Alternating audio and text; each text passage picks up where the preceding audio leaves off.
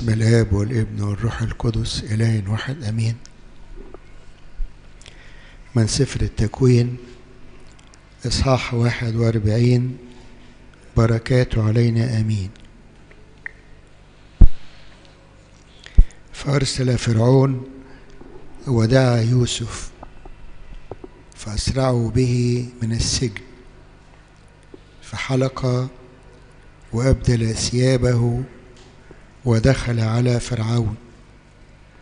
فقال فرعون ليوسف حلمت حلما وليس من يعبره وأنا سمعت عنك قولا إنك تسمع أحلاما لتعبرها.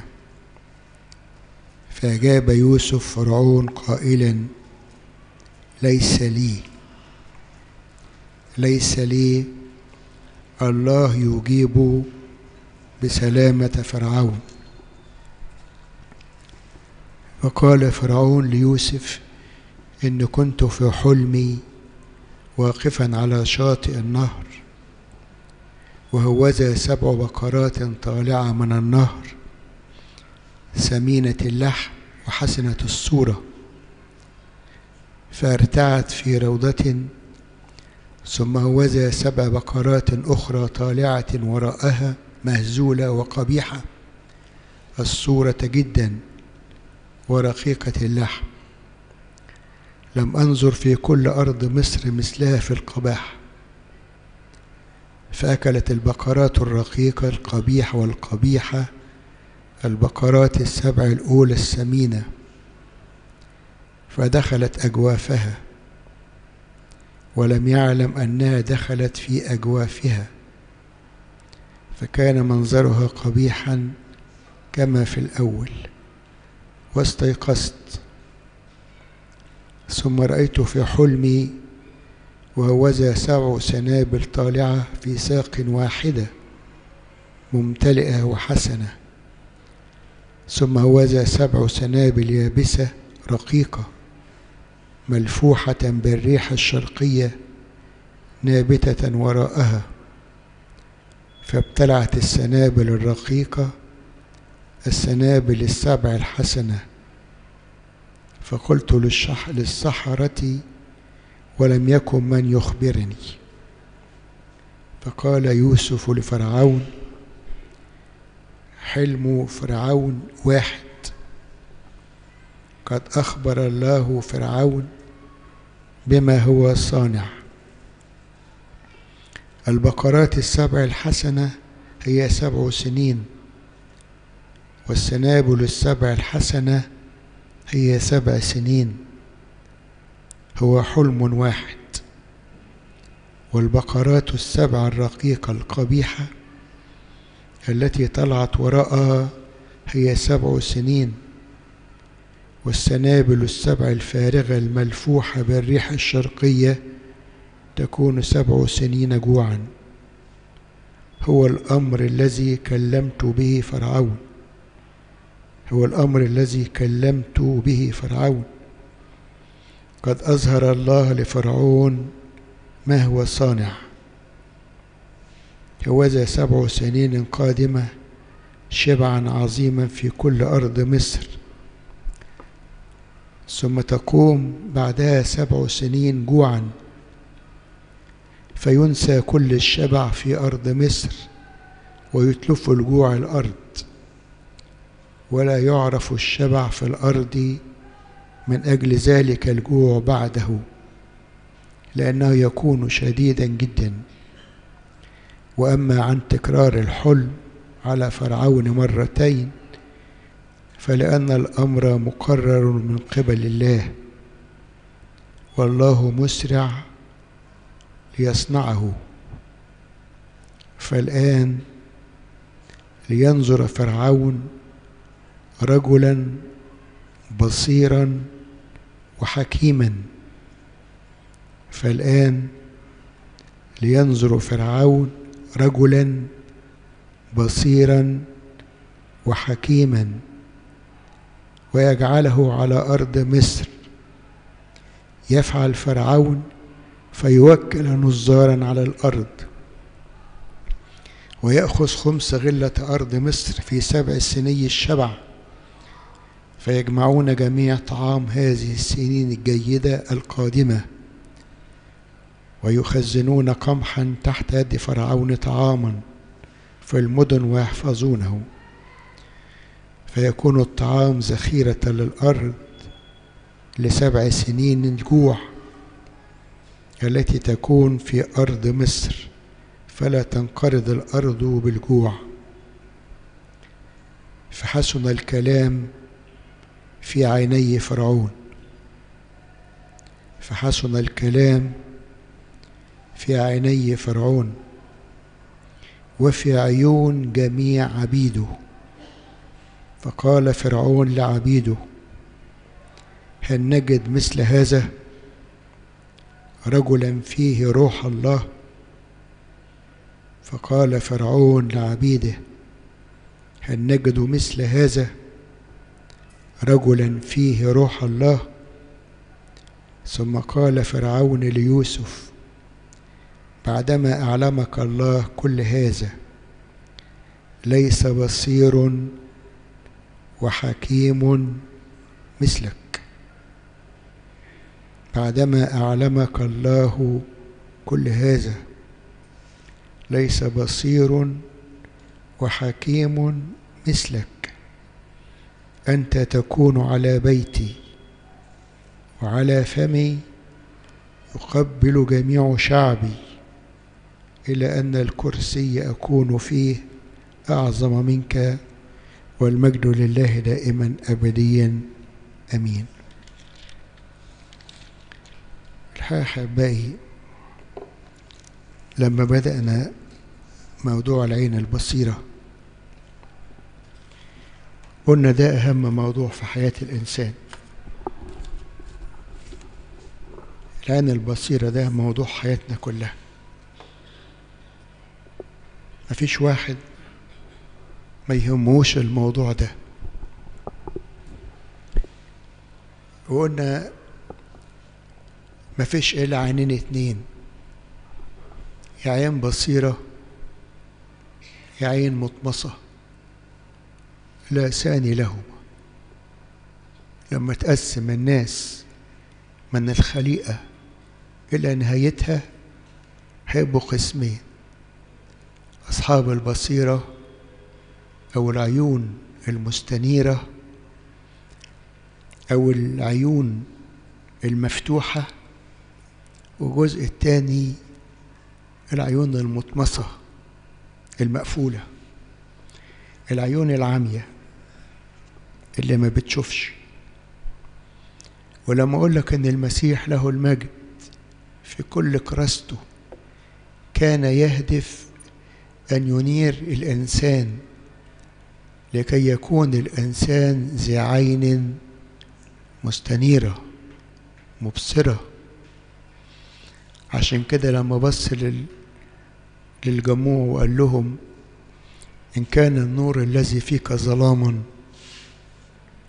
إذا كان النور اللي فيك ظلام فماذا يكون الظلام؟ وقلنا مشاكلنا في حياتنا.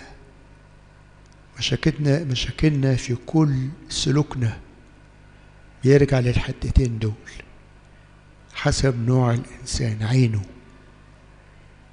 تقول لي تقول لي طب وإيه أهمية الحكاية ديت يعني؟ هو أنا يعني كنت أخلق لنفسي عين بصيرة ما هو ربنا اللي جابني كده؟ أقول لك لأ. ده كل الوصاية النعمة وكل حياتنا مع الله عشان عينينا تستنير.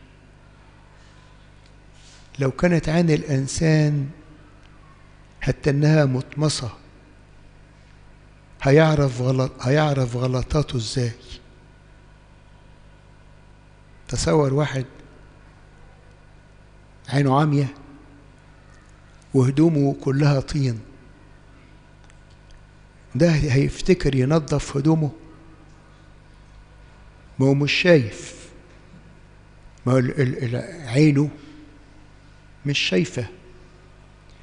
مش ممكن إنسان هيقبل أو يقبل إلى الله في حياته إلا لما عينه تتفتح ويشوف. الحرامي اللي بيسرق ده بيفتكر السرقة ديت فن وبيفتكرها شطارة. ومهما تقول له السرقة ديت والسرقة ديت مش هيسأل فيك. ليه؟ لأن عينه عمية. مش شايف نتيجة السرقة ديت هتوديه في النهاية فين؟ هيروح فين؟ الإنسان الشهواني الذي لا تحك... لا تحكمه ولا تقوده إلا الشهوة. مش شايف إلا الشهوة. هي دي اللي قدام عينه. واخدة تفكيره واخدة حياته واخدة ماله واخدة وقته واخدة كل شيء. بتهلكه. لأن عينه عمية. مش شايف إن دي مش هتدوم. وشايف إنه هيجي في من الأيام هينزوي ويحاسب. ويحس إن هو خلاص هو كتب على نفسه النهاية.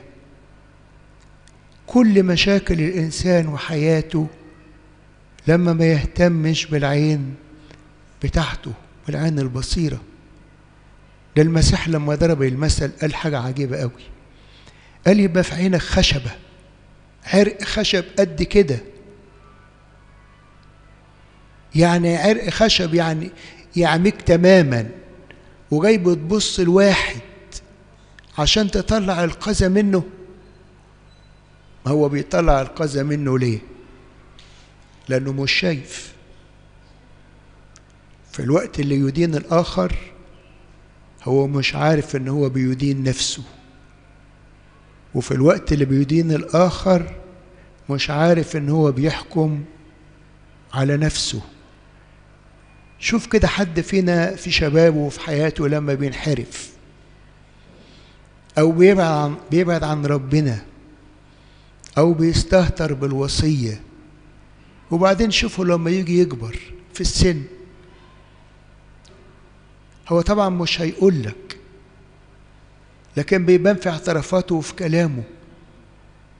تلاقيه الندم اللي في داخله لا يوازي كل اللي خده من العالم. شايف نفسه مش قادر أقول الكلمة ديت شايف نفسه وسخ. مش عايز أقول الكلمة دي لكن دي الحقيقة. تعزيه توعظه وتناوله وتقول له ربنا غفر لك برضه شايف نفسه في عين نفسه وسخ. وشايف كل اللي عمله ده وافتكر إنه كذبه في ساعتها وكان بيحارب من أجله يدور عليه ما يلاقيهوش. ولا يلاقي له أي قيمة. مش شايف مش عارف. لكن صاحب العين البصيرة كل حركة وكل خطوة بيحسبها وبيشوفها. عشان كده ينير ينيرون في ملكوت الله.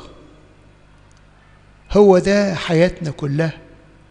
من الوداية من أول ما بننزل المعمودية لحد ما بيصلوا علينا على الخشبة. بتستنير العين. الروح القدس بينير عينينا. لكن في واحد ما بيقبلش وفي واحد بيقبل. قلنا قلنا صاحب العين العامية ده هو الإنسان اللي فيه الأنا. ودي هنخليها قلنا فيها شوية وخليها بعدين. ما فيش إلا نفسه مهتم بنفسه بس. هو بيدور على نفسه. كل حاجة إلا ما تجيش جنبه هو. لو اختفت العين البصيرة لأهلك الله العالم كله.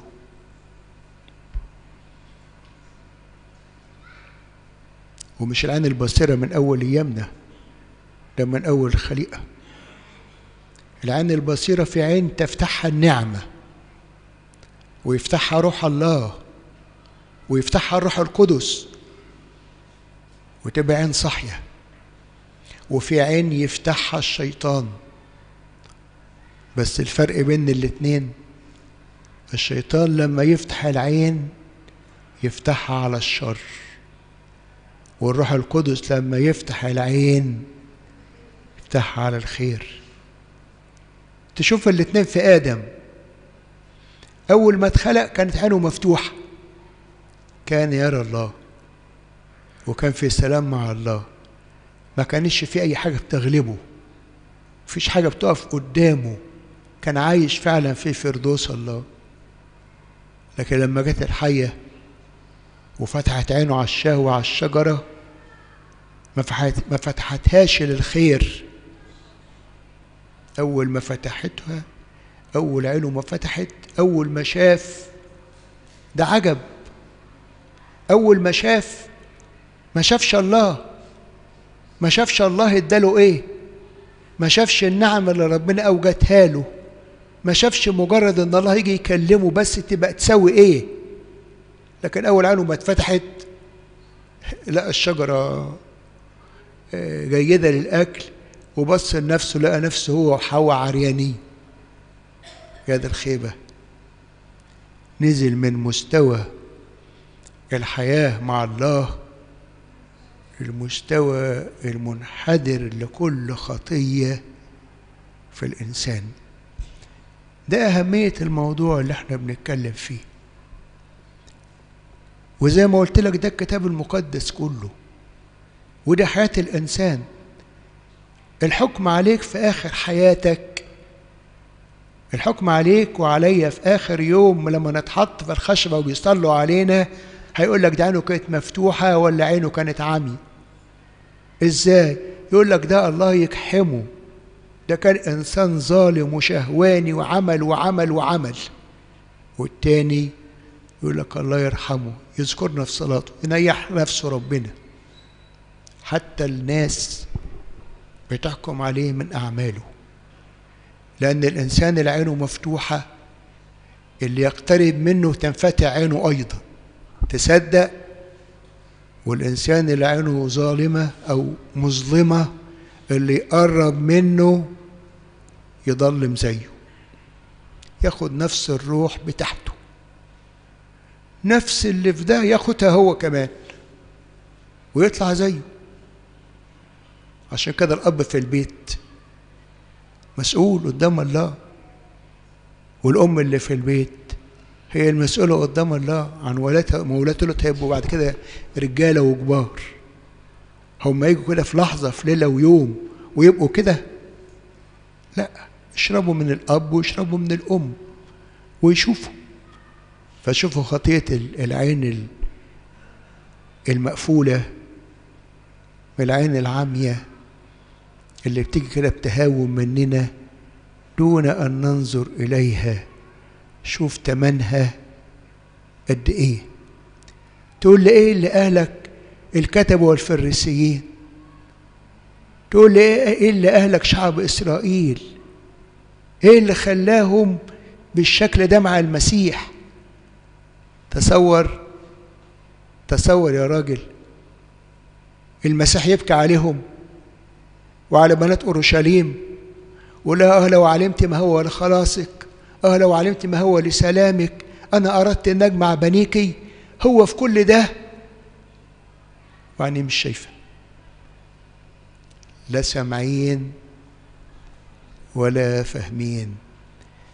عشان كده المسيح قال طمست عيونهم وأغلقت آذانهم وطمسوا عيونهم وأغلقوا آذانهم حتى لا يسمعوني. ده كلام الله. كانت كل. كل كل مشاكلهم في دي. لخصها أشعية في الآية دي. وساعتها المسيح قالها له. والله قالها له. تصدق تصدق تصدق ينقذهم من شعب مصر ويطلعهم في البحر ويعمل معاهم كل المعجزات ديت ويعمل لهم كل ده. وأول ما تيجي أول تجربة صغيرة أول حاجة صغيرة حاجة تجنن يمسكوا موسى عايزين يرجموه. يقولوا أنت طلعتنا عشان تهلكنا. رجعنا تاني جنب اللحمة والكرات. إحنا عايزين بطولنا وهم عينيهم شايفة. والمعجزات معاهم هم. وشافوا فرعون وهو بيغرق. وشافوا البحر وهو بيتفتح. وشافوا المية اللي بتنزل. ومع هذا؟ يعمل الله المعجزة معاهم. زيهم هم زيهم زي موسى بالظبط زي فرعون بالظبط عيونهم مغلقة. فرعون يجيب له ضربة ويقول له أنا هعمل وهعمل وهعمل وبعدين يشوف الضربة بعينه ويصوت ويقول لموسى انجدني ويبقى مش قادر. وبعد الضربة الله إيه ده؟ ده ما بيحسش ده ما بيفهمش ده ما بيشوفش لا هو عينه فتحها الشيطان. الشيطان لما يفتح عينك يا حبيبي وعيني أول حاجة تعملها صدقني أنا مش بوعظك أنا بقول لك اللي عشناه. أول الشيطان ما يفتح عينك وعيني تبص للآخرين وتولع. لا أنت عايز حد أحسن منك ولا أنت عايز حد تسمع إنهم كرموه ولا خد. كل همك إن كله يندفن وأنت بس اللي إيه؟ اللي تطلع. أنت بس اللي تاخد والباقي مش مهم. العين. شفنا المرة اللي فاتت شفنا المرة اللي فاتت أبونا إبراهيم. مش خدنا المرة اللي فاتت أبونا إبراهيم؟ أبونا إبراهيم و وابن أخوه لوط. طب طب لوط ما هو جه معاه. وربنا دعا إبراهيم ما دعاش لوط. وكلم إبراهيم ما كلمش لوط. وجه لوط وشاف إيد الله مع إبراهيم وإيد الله معاه لكن القنية والطمع الطمع اللي, اللي مسك فينا كلنا. الطمع اللي عندنا مش راضي يروح من من قلوبنا. والشيطان كل شوية يجيبه ويحطه قدامنا. أول ما جه لكن إبراهيم كان باصص زي ما قلنا المرة اللي فاتت للسلام والمحبة. كان يحرص على سلامه ومحبته أفضل من الأرض واللي فيها لأنه هيسيبها ويمشي. لكن لوط ما كانش كده. ولف لف لف لف لوط. ورجع تاني. كان كان المتنيح الله ينيح نفسه البابا شنودة. كان عنده مبدأ كان بيعلمه لنا وإحنا صغيرين يعني. أو كان بيعلمه بيقولوا باستمرار. ولما تبص لها تلاقيها عجيب. كانت عينه مفتوحة. كان البابا يقول لك إيه؟ يقول لك كل إنسان في الدنيا وكل تجربة في الدنيا وكل حاجة في العالم عاملة زي الهرم. تبدأ الأول من الهرم من تحت بسيطة. وبعدين تزيد تزيد تزيد تزيد تزيد لحد ما توصل قمة الهرم. طب وبعد القمة هيتن الواحد على القمة على طول لا يبدأ ينزل ينزل ينزل ينزل ينزل لحد ما يرجع زي ما كان. مفيش حاجة في الدنيا بتعمل كلنا كده. حتى حياتنا حتى حياتنا. تبدأ ما انتش صغير ما انتش معروف اهو في النكرة. وبعدين تجري بتطلع تطلع تطلع وتيجي على القمة. هنا الشيطان يروح ضربك بقى في القمة. ما يوريكش انك انت هتنزل. يصور لك انك انت هتنك طول عمرك على القمة. عشان يضيعك. وما ياخدش باله إنه في كل حدث بتنزل بتنزل بتنزل بتنزل لحد ما تنتهي. نجري له نقول له عندنا مشكلة. التجربة صعبة قوي مش متحملينها يا سيدنا. الحرب شديدة قوي قوي وتبكي بدموع. ودكت يبص لك كده بكل هدوء. يقول لك افتكر الهرم. هتطلع وتجري التجربة والنار تولع أو تشتعل للآخر. لما توصل القمة وبعدين وبعدين هتنطفي تاني هتنزل تنزل وتنطفي. هي دي حياة الإنسان. هي دي سلوك الإنسان. هي ديت المشاكل بتاع الإنسان اللي مش قادر يدركها. هي دي العين اللي ما بتشوفش. العين اللي بتشوف تقدر تنقذ العالم. النهارده بفر كده في سفر التكوين وقفت قدام فرعون. ويوسف. واستغربت. حاجة عجيبة قوي فرعون له ما له طب ويوسف إيه؟ يوسف ده غلام. كان عنده 30 سنة. واحد غريب. مش من مش من مصر كلها. مصر 4 مليون وهو جاي غريب. من باع من باع عبد. وبعدين جه في مصر. لما فرعون حلم الحلم ولقى الحلم اتكرر تاني قال لهم اجمعوا كل الحكماء صاحب العين البصيرة هو الإنسان الحكيم وحكمته من السماء وحكمته نعمة من الله وحكمته عطية من الروح القدس ونعمته ثمرة حياته مع الله ثمرة أمانته هو هو هو يوسف أول ما جه ده مجرد ده أنت بتشوف حكمته وتشوف عينه البصيرة من قبل من أول إخواته ما احتلوا عليه. في نظر الناس ده كان خيبان. أبوه يقول له خد وروح افتقد سلامة إخوتك ويعمل له السرة دي اللي فيها الأكل ويشيلها على كتفه ويمشي قد إيه.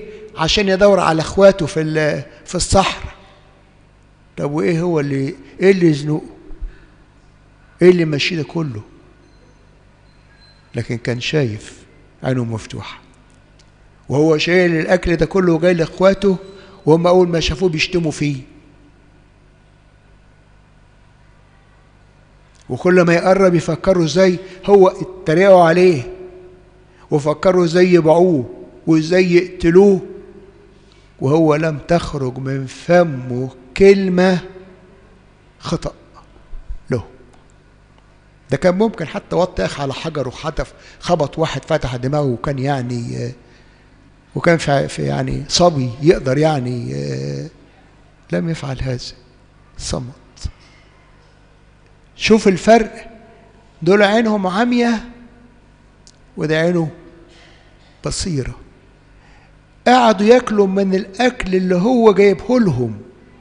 شوفوا وصلنا لحد فين؟ شوفوا الظلمة لما بتغشف الإنسان بتعمل فيه إيه؟ ده الحيوان ما بيعملش كده. خدوا الأكل اللي هو جايبه وماشي بيه ودايخ وقعدوا ياكلوه وهو مكتفينه. ياه. هي دي الخطية هي دي الخطية. هي دي العين المظلمة هي دي العين المظلمة. هي دي لما تدعى الإنسان ما هو ما تلومهمش. لأن واحد أعمى هتلومه إزاي؟ واحد أعمى مش شايف النور الدنيا نهار ومش شايف. تقول له إحنا إمتى؟ يقول لك إحنا بالليل. ما هو أعمى. وبعدين هو لم لم تصدر منه أي أي كلمة قبيحة أو أي فعل أو مقاومة واستسلم. كده كده في المنظر هو خسران. وفي المنظر كده هم خدوا كل حاجة. ودبرهم ورتبهم. وكل شهواتهم في التملك وفي التخلص وفي الحقد وفي الغيرة والكراهية. حط زي ما انت عايز. خدهم. لكن هل دامت العين العين العامية قليلة. برصها كتير. لكن العين البصيرة مكانها في السماء. هي اللي بترى السماء. هي اللي بترى الله. هي اللي بترى الصح. بترى طريق الحياة الأبدية. هي اللي بتأهلني وتأهلك عشان نقف في الدينونة أمام الله ويعطي كل واحد حسب أعماله. فشلوا هو ما فشلش. حتى ما نزل مصر واتهمته وعرضت عليه الخطية وكان ممكن يوافق وكان عنده أسباب كتيرة أوي أوي تبرره وكان ممكن يقف يقول لربنا كلام كتير قوي ويلاجج مع ربنا. ويقول له طب أعمل إيه؟ أنا غريب لوحدي. أنا جاي من بلد كلها مفيش إلا أنا. ودي زوجة ال- الأمير ولا ال- الفرعون ولا غيره. أعمل إيه؟ لكن لم يفعل خطية بل فضل الفضيحة. ده العين البصيرة. فضل العين البصيرة. فضل الفضيحة. وفضل يمشي كده ولم يتخلى. عين بصيرة شايف الله قدامه. كيف أفعل هذا الشر العظيم؟ شايف عين الله في عينه. لكن العين التانية شايفة الشيطان. اعمل واعمل واعمل واعمل. هو هو كانت عينه بصيرة. وبعدين يخش سجن ويطلع. وبعدين عجب بقى.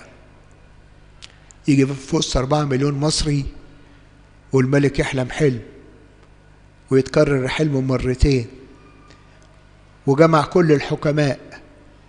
هنا الصحراء بمعنى الحكماء. جاب حكماء مصر. اللي اللي موسى اتعلم الحكمة من المصريين. ده موسى اتعلم الحكمة من المصريين. جاب الحكماء. وقص عليهم الحلم. ولا واحد اتكلم. ولا واحد عرف. وبعدين في الآخر قال له في واحد غلام كده مش من هنا وغريب طب هاتوه. يا سلام. خدوه طلعوه من السجن ودعاه. وبعدين وبعدين فرعون بص له كده شاب. هيقول له إيه ده؟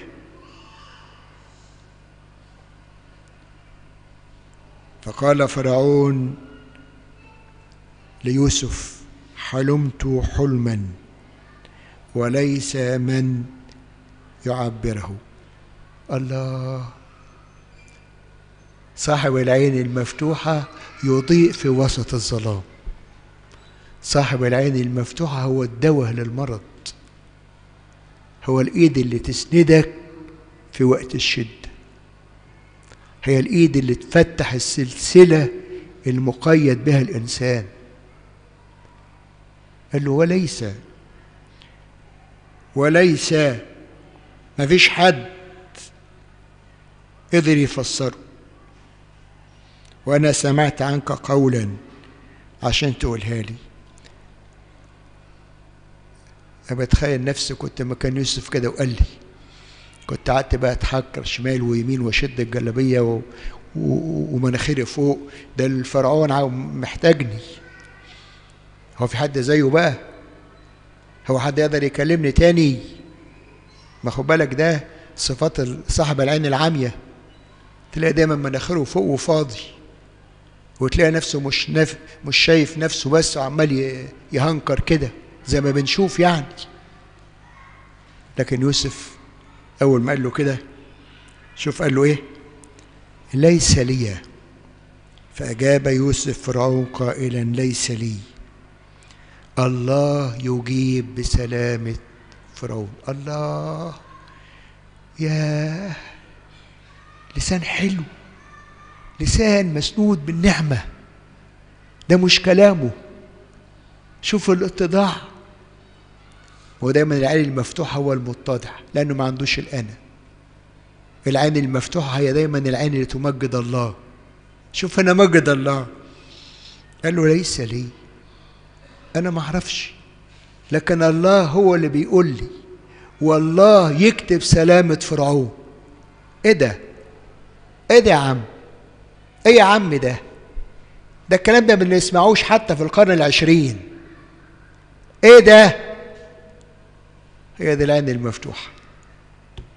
هي دي العين النعمة اللي فيها. فرعون وشاب جاي من السجن. يقول له ليس لي. ما أنا إلا آنية فارغة. الله هو اللي بيعمل. يعطي المجد. لله. وبعدين يطلب لفرعون السلام. الله يكتب سلام فرعون. لما تقعد مع الإنسان المستنير والمفتوح العينين تمتلئ أنت أيضا منه. لما تتعامل مع المفتوح العينين البصير تمتلئ أنت أيضا من النعمة. يقودك أيضا للنعم. عشان كده طوبى للذي يجلس في مشورة لا يجلس في مشورة الأشرار. طوبى لمن يجلس في مجلس الحكماء وأولاد الله.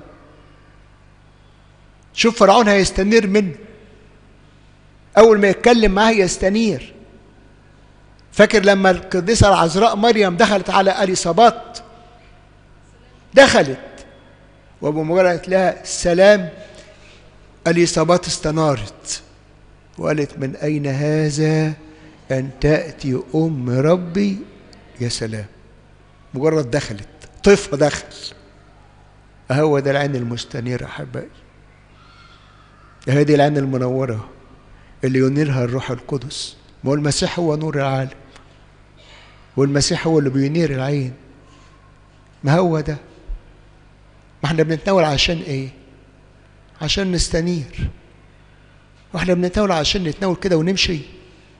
ما إحنا في كل مرة بنتناول بنستنير بتستنير العين وتنفتح الودان ويحس الإنسان ويصحى الضمير ويعود الإنسان إلى خالقه ويفكر فيه. ما هي ده يا حبايبي اللي إحنا بنعيش فيه؟ شوف.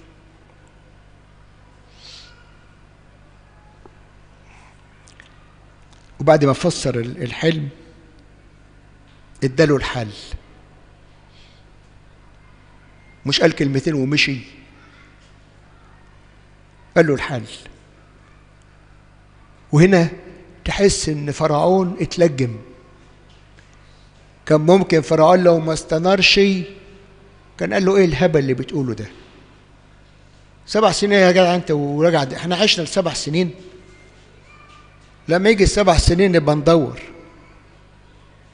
أنت يعني بت لا لا خدوه خد خد الواد طلعوه بره. ده ما يعرفش الكلام ده. كان ممكن يقول له كده. لو كنت انت اللي مكانه كنت هتقول كده. إحنا فاضيين وجع الدماغ. نقعد نجمع قمح ونشيل قمح ونروح يا جدع روح قمح إيه وبتاع إيه. لا تلاقي بس فرعون كان تعبان وبيخرف. أو حلم كده جه على دماغه. وكانوا بقى طلعوا الهتيفه اللي حواليه سقفوا له وهتفوا. يحيى فرعون. وكانوا رموه في السجن. لكن صاحب العين البصيرة روح الله فيه وروح الله لا يغلبه أحد. الكل انكتم والكل سكت والكل اقتنع. ده كان أبسط حاجة واحد يسألها له يقول له يهبل أنت هو إحنا نقدر نحط دي سبع سنين وما يسويش هنقعد نخزن سوس؟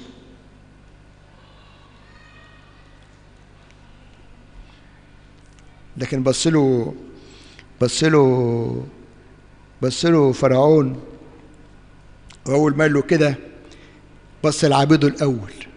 شوفهم. شوف شوف قال إيه؟ الأم اللي معاها الطفل ده تاخده وتحطه معاها وعيب اما تقعد كده وتسيب الواد يجري في وسط الكنيسة كده. اتعلمي إزاي تحترم الكنيسة يا مدام.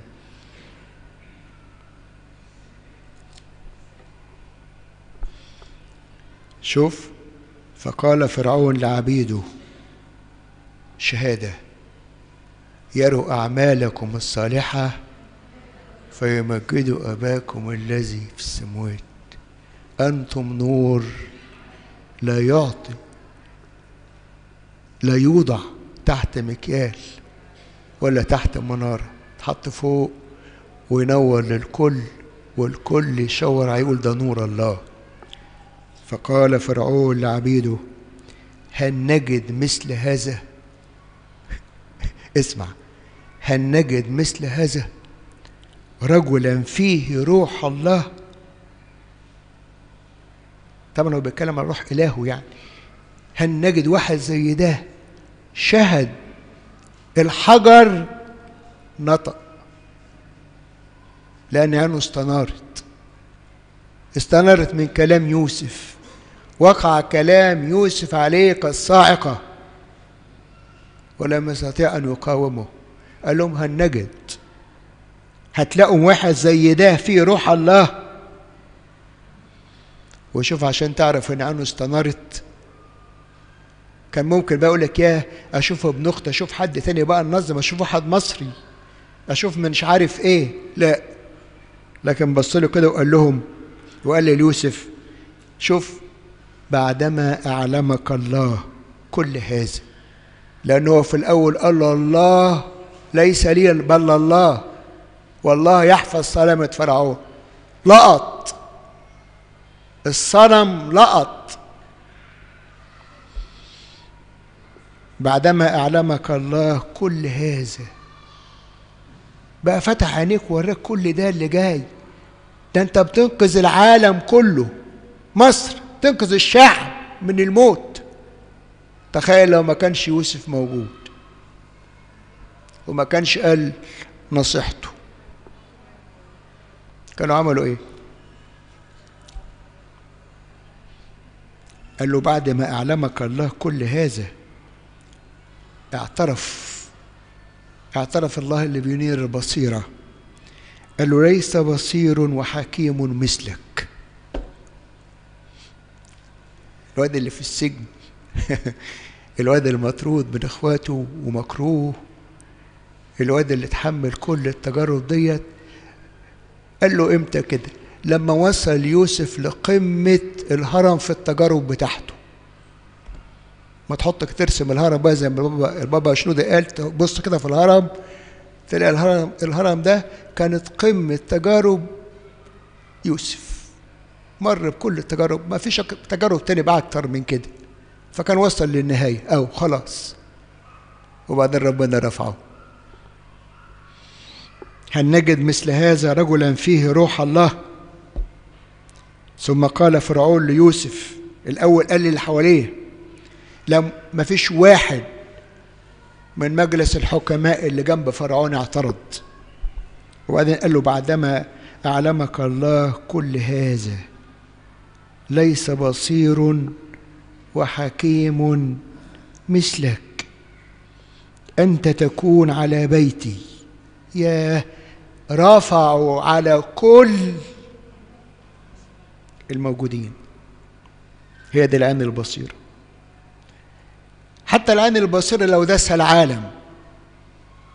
حتى لو استهترت بها الناس. لابد أن الله ينيرها. ويخلوهم تاني يجوا يسجدوا تحت رجليه. تشوفهم أما تشوف الآية 45 يبقى وراها لما تروحوا. ودعا فرعون اسم يوسف صفنات فعنيح. اسمه مصري. اتمطع كده واختار له اسم مصري. قال له هنسميك صفنات فعنيح. يعني إيه؟ معناتها يعني مخلص العالم. مخلص العالم. ما هو كان ما هو رمز للمسيح. ده مخلص العالم. هو ده اللي خلصهم من الموت. وفي بعض الناس اللي بيقول لا اسمها خبز خبز الحياة. ما هو خبز الحياة هو المسيح برضه والخبز الحياة هو اللي بينقذ من الموت. شوف العظمة وصلت القمة ومجدوا الله. صاحب العين العامية اللي ما بيشوفش ينزل من قمة الهرم مخزي وينزل في مزبلة التاريخ وينزل مكروه من كل اللي حواليه وينزل نادم على كل اللي سلك فيه وكل اللي خده يبقى أشواك بتشوكه في جتته لكن المفتوح العينين لا يمكن أن يسقط مهزوما ولكنه يسقط منتصرا. يا حبايبي يا حبايبي موضوع العين المفتوحة ده موضوع صلاتنا وموضوع أصوامنا وموضوع تراتيننا وموضوع حياتنا كلها اللي بنطلبه من الله ونتمناه. المفتوح العينين عينه دايما نظرة للسماء. المفتوح العينين هو دايما اللي بياخد. وكل ما ياخد يزداد اتضاع. وكل ما ياخد يزداد ثقة في الله. وكل ما يزداد يكره الشر. بقدر ما تكره الشر الذي فيك بقدر ما تنفتح عينيك.